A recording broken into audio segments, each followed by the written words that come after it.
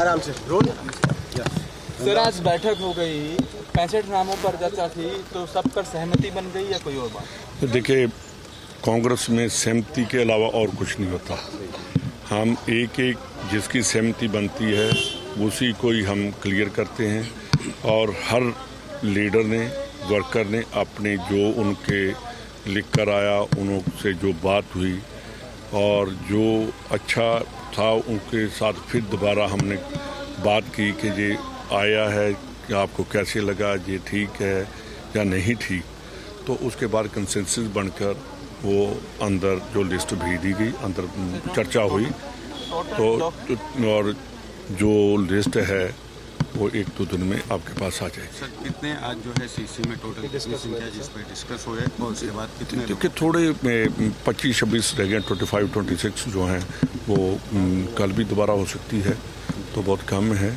देखिए सबसे बड़ी बात बीजेपी की आप देख रहे हैं कि कितनी बार उनकी सीईसी की मीटिंग हुई सेंट्रल इलेक्शन कमेटी हम राजस्थान वालों ने मेरे प्रदेश कांग्रेस कमेटी और हमारे जो स्क्रीनिंग कमेटी के मेंबर हैं हमने दो बार मीटिंग की।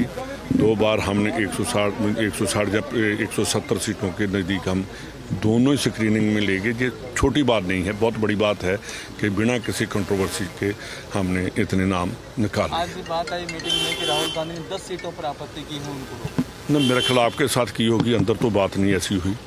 तो बार किसी के साथ हुई होगी उसका मेरे को नहीं पता। राहुल जी ने किसी टिकट पर आपत्ति नहीं की। हाँ डिस्कशन हमारी बहुत लंबी हुई है और जिस सीट पर भी कोई हमें शक था उन्होंने हमारे हमसे क्वेश्चन भी किए और हमने उनके जवाब भी दिए। जो हमें नहीं अच्छा लगा हमने वो भी बता दिया जो हमें अच्छा लगा वो भी हमने उनको बोल दिया। कल होंगी और कितने बदले जाएँगे ये तो मेरे ख्याल गौरव जी बताएँगे कि वो वो नोट कर रहे थे। तो काफ़ी नए चेहरे और यूथ आपको काफ़ी गिनती में मिलेगा सर कल की सीसी लगभग मेरे ख्याल ये नहीं पता वो सी सी तो वो हमें टाइम बताएँगे वो टे, टे, टे, आज वाली आज वाली जो का नाम लिया आपने हाँ जी आप वेट करो हैं? अब मेरे मेरे को भी नहीं इतना पता क्योंकि क्योंकि हम तो बोल ही सकते हैं बाकी आप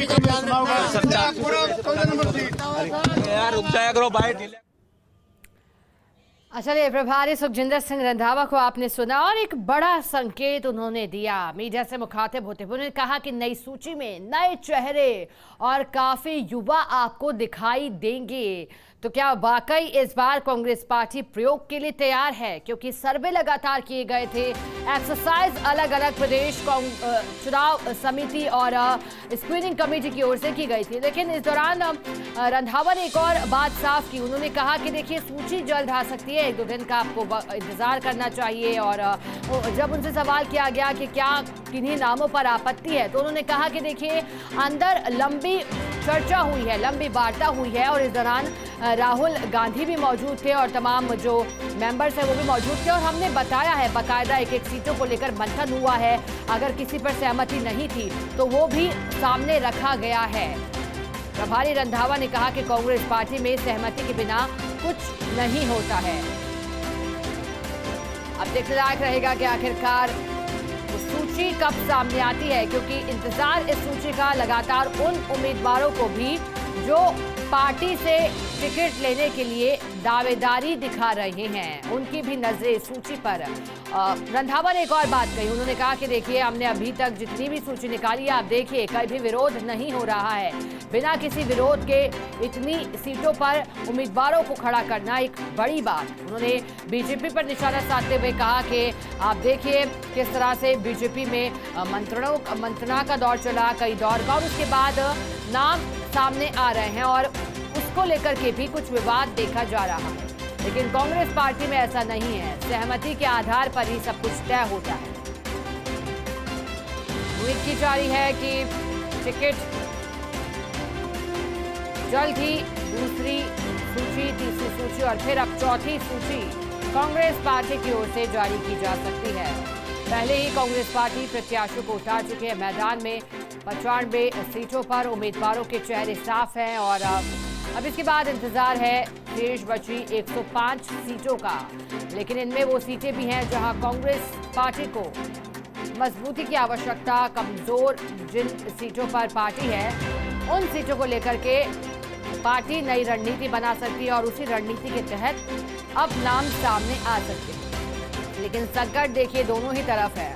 कांग्रेस पार्टी जहाँ देखा जा रहा है कि अब जब विरोध के स्वर उठे थे तो फिर जिन सिटिंग एमएलए को टिकट दिया गया था, उससे उलट विरोध के स्वर उठे। वहीं बीजेपी में दृश्य अलग है।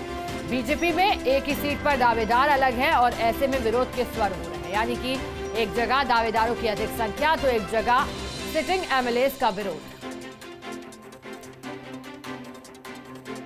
सीसी की बैठक हुई कई घंटों तक बैठक चली है। इससे पहले कल स्क्रीनिंग कमेटी की बैठक हुई थी और इसके बाद बाकायदा पैनल तैयार होकर के सीसी तक पहुँचा था।